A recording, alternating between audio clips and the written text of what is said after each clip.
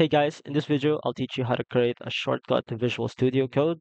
And the reason why I'm making a video for this is because when I installed Visual Studio Code, I didn't check on the box to create a shortcut to it. So I don't, I can't just search it up, Visual Studio Code.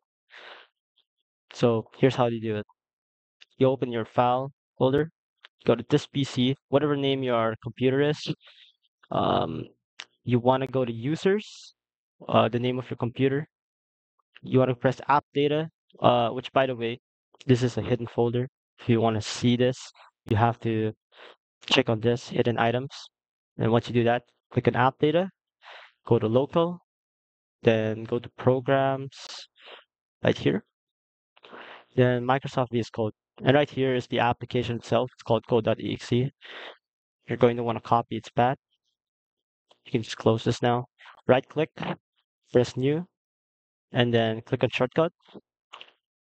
Paste it here. Press next. Uh, name this whatever you want.